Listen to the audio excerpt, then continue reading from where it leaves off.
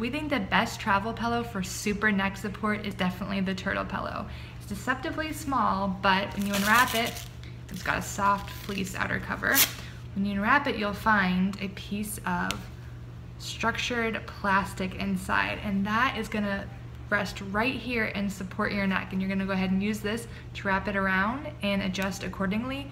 But this piece really does almost act like a neck brace. You're getting so much support in your neck that you're not gonna need anything else.